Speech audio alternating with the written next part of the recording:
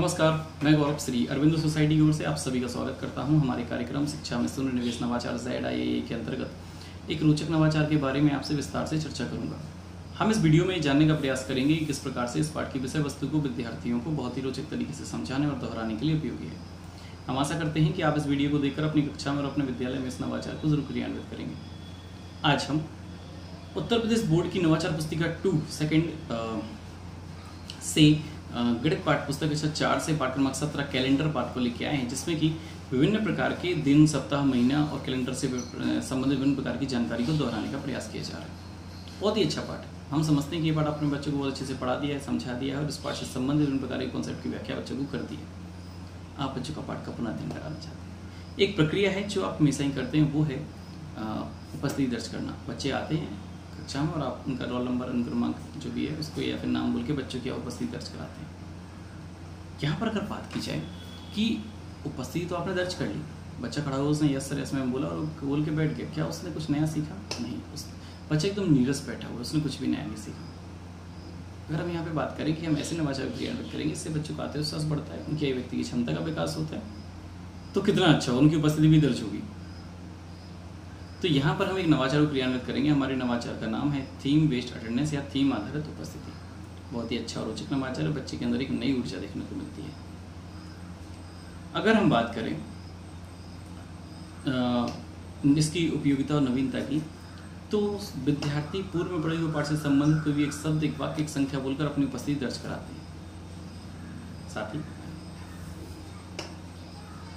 बच्चों का कॉन्सेप्ट जो उस पाठ का कॉन्सेप्ट है वो बच्चों को लंबे समय तक याद रहता है बच्चों का पाठ का पुनर्धन होता है उनका आत्मविश्वास बढ़ता है उनके व्यक्ति की क्षमता का विकास होता है। इस नवाचारी क्रियान्वयन में बीस मिनट के समय अवधि निर्धारित की गई है बाकी बच्चों की संख्या पर डिपेंड करता है। पूर्व प्रबंधन के अंतर्गत की जानकारी के अंतर्गत आज हम बच्चों को कैलेंडर से संबंधित वर्ष दिन, दिन महीना सप्ताह या वर्ष की जानकारी देने का प्रयास करेंगे या उसकी जानकारी को दोहराया जाएगा। यहाँ पर बच्चों को निर्देश दिए जाते हैं कि बच्चों, आपको जो भी उत्तर देना है, खड़े होकर विनम्रतापूर्वक उत्तर देना है। इससे बच्चों के अंदर विनम्रता का गुण विकसित होता है, साथ ही बच्चों को अनुशासन में रहना है। और अभिभावक को निर्देश दिए जाते हैं कि आपको, माफ़ करिए विद्यार्थी शिक्षक को निर्देश दिए जाते हैं कि आपको सब बच्चों की अटेंडेंस क्रमशः दर्ज करनी है। यहाँ पर अब इस बात का विशेष ध्यान रखना होगा कि जिस पाठ का आपको पुनर्धन कराना है, वो पाठ आपने बच्चों को पहले पढ़ा दिया हो, समझा दिया और इस पाठ से संबंधित विभिन्न प्रकार के कॉन्सेप्ट की व्याख्या कर दी हो। अब आप बच्चों का यहाँ पर पुनर्धन करेंगे। यहाँ पर अब बच्चों से कहा जाता है कि बच्चों आपको क्या करना है? अभी तक हम आपकी उपस्थिति दर्ज करते थे अनुक्रमांक बोला आप खड़े हो गया सरस में बोल कर बैठ गए। लेकिन आज ऐसा नहीं होगा। आज आप क्या करेंगे, हम आपको एक थीम देंगे कैलेंडर पार्ट से संबंधित। उसके आधार पर जो आपका उत्तर होगा, वो आप देंगे, अपनी उपस्थिति दर्ज करेंगे। तो रोचक है। बच्चों को भी अच्छा लगता है।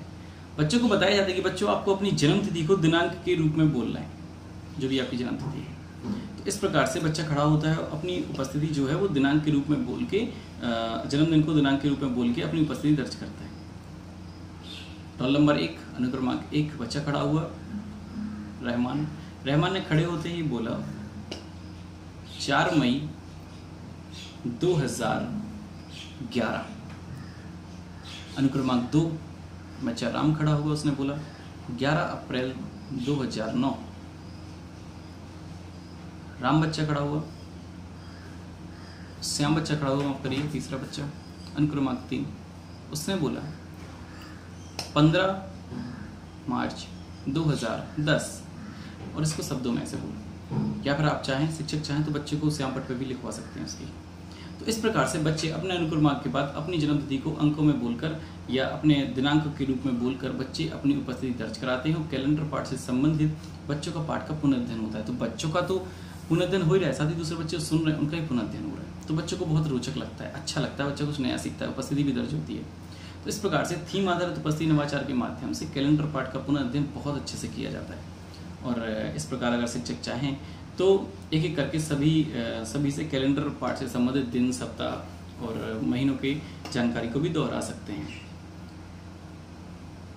आप इस नवाचार को अपने विद्यालय में ज़रूर क्रियान्वित करें। ऐसे ही दिलचस्प वीडियो हम आप तक लाते रहेंगे। जेड आई आई आई के यूट्यूब चैनल को ज़रूर सब्सक्राइब करें और अगर आप मुझे फेसबुक पर लाइव देख रहे हैं तो जेड आई आई आई के फेसबुक पेज को भी लाइक करें। नीचे दी गई लिंक पर क्लिक करके आप वीडियो पार्सल ऐप को भी इंस्टॉल कर सकते हैं। आपका बहुत बहुत धन्यवाद।